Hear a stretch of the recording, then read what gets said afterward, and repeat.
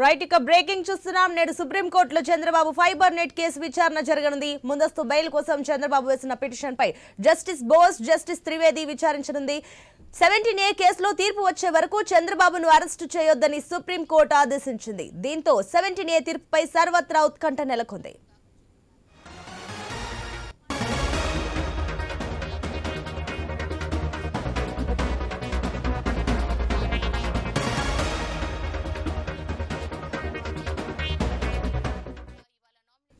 నేడు సుప్రీంకోర్టులో Chandrababu fibre net case విచారణ జరగనుంది. ముందస్తు బెయిల్ కోసం చంద్రబాబు వేసిన పిటిషన్ పై జస్టిస్ బోస్ జస్టిస్ త్రివేది విచారించనుంది.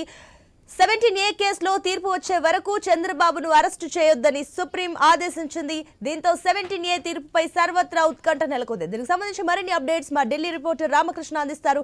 రామకృష్ణ దీనికి సంబంధించిన అప్డేట్స్ ఏంటి? ఇక చూసుకున్నట్టుగైతే ఈ రోజు టీడీపీ అధ్యక్షుడు చంద్రబాబు నాయుడు ముందస్తు ఏపీ ఫైబర్ నెట్ కేసులో ముందస్తు బెయిల్ పిటిషన్ ఈ రోజు విచారణకు రాబోతుంది. మరి సర్వోన్నత న్యాయస్థానం ఈ పిటిషన్ని విచారించబోతుంది. జస్టిస్ బైలా త్రివేది జస్టిస్ అనిరుద్ బోస్ ధర్మాసనం దీనిపై ఈ ఈ రోజు విచారణ జరపనుంటుంది. ముఖ్యంగా ఆ, ఈ కేసులో ఏపీ ఫైబర్ నెట్ కేసులో అక్టోబర్ తొమ్మిదిన చంద్రబాబు ముందస్తు బెయిల్ పిటిషన్ను తిరస్కరించింది హైకోర్టు. మరి ఫైబర్ కేసులో దర్యాప్తు కీలక దశలో ఉన్నందున బెయిల్ ఇచ్చేందుకు గతంలో కోర్టు నిరాకరించింది. అయితే ఈ ఎప్పుడు ఈ నేపథ్యంలోనే చంద్రబాబు లాయర్లు సర్వోన్నత న్యాయస్థానాన్ని ఆశ్రయించడం జరిగింది. మరి ఇప్పుడు తాజాగా ఈ కేసుకు సంబంధించి విచారణ రాబోతుంది. దీంతో పాటు ఇక ఆ చూసుకున్నట్టుగైతే ఈ section seventeen A section seventeen A లో కేసులో తీర్పు వచ్చే వరకు కూడా చంద్రబాబు అరెస్ట్ చేయదని సుప్రీంకోర్టు ఇది గతంలోనే ఆదేశించింది. మరి సెక్షన్ సెవెంటీన్ ఏలో ఎలాంటి తీర్పు వస్తుంది అనేది కూడా ఉత్కంఠగా ఉంది. ఇది కేవలం చంద్రబాబు నాయుడుకు సంబంధించిన అంశమే కాదు దేశవ్యాప్తంగా రాజకీయ నాయకులకు ప్రభుత్వ ఉద్యోగులకు ఒక దిశా దశను చూపించే తీర్పు ఇది. ఈ విషయంలోనే జస్టిస్ బేలా త్రివేది జస్టిస్ అనిరుద్ బోస్ చాలా డీప్గా కూలంకుషంగా చర్చించి మరి ఈ తీర్పు ఇవ్వబోతున్నారు. ఎందుకంటే అది అంటే తీర్పు కూడా ఎప్పుడు వస్తుందో చెప్పలేము. ఎందుకంటే జడ్జిమెంట్ రిజర్వ్ చేశారు కాబట్టి అది ఎప్పుడు అనేది ఇంకా మనం స్పష్టంగా చెప్పలేం అయితే నవంబర్ ఇరవైన ఇదే కేసుకు సంబంధించి ప్రశాంత్ భూషణ్ వేసిన పిటిషన్ కూడా ఉంది. మరి ఆ పిటిషన్ దీంతో పాటు ఆ పిటిషన్ పై కూడా విచారణ జరిగిన తర్వాత ఇద్దామా లేకపోతే ముందే ఇచ్చేద్దామా అనేది జడ్జెస్ చేతిలో ఉంటుంది. మరి ఒక పిటిషన్ పై విచారణ జరగాలి అని అంటే నవంబర్ ఇరవై తర్వాత ఈ కేసుకు సంబంధించి జడ్జిమెంట్ వచ్చే అవకాశం ఉంది. ఆ జడ్జిమెంట్ వచ్చే వరకు కూడా చంద్రబాబుని అరెస్ట్ చేయడానికి వీల్లేదు.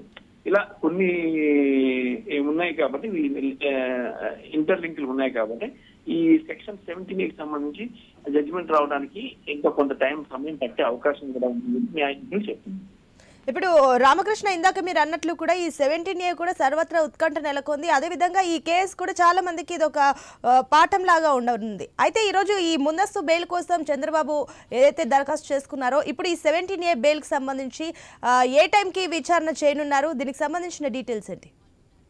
అంటే సెక్షన్ సెవెంటీన్కి సంబంధించి చూసుకుంటే అది ఇంకా అది అయిపోయింది. విచారణ అంతా అయిపోయింది. మొన్న జడ్జిమెంట్ రిజర్వ్ ఉంది అంటే జడ్జిమెంట్ రిజర్వ్ చేస్తారు కాబట్టి ఆ జడ్జిమెంట్ రిజర్వ్ ఎప్పుడు ఇస్తాను కోర్టు ఇస్తాం.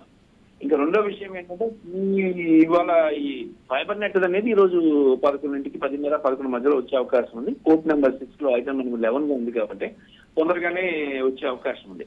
ఇప్పుడు అంటే ఈ ఫైబర్ నెట్ కేసులో ముందస్తు బెయిల్ పై ఎలాంటి డెసిషన్ వచ్చినా కూడా ఆల్రెడీ చంద్రబాబు నాయుడు బెయిల్లో ఉన్నారు.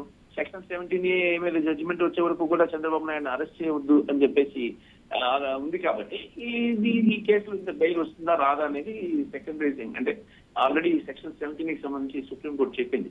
అది వచ్చే వరకు కూడా జడ్జిమెంట్ వచ్చే వరకు కూడా చంద్రబాబు నాయుడు అరెస్ట్ చేయొద్దని. అయినప్పటికీ ఇది ఆల్రెడీ అంతకు ముందే ఫైల్ చేసిన ఉన్న కే- కేసు కాబట్టి ఇవాళ దీని మీద కూడా ఒక బెయిల్ యాక్సెప్ట్ చేసింది అంటే అది ఎప్పటి వరకు బెయిల్ ఉంటుంది ఏంటి అనేది ఈ రోజు జడ్జెస్ చెప్పే అవకాశం ఉంది. లేదంటే దీన్ని పోస్ట్ పోన్ చేసే అవకాశం కూడా ఉంది. Okay right Ramakrishna right Ramakrishna thank you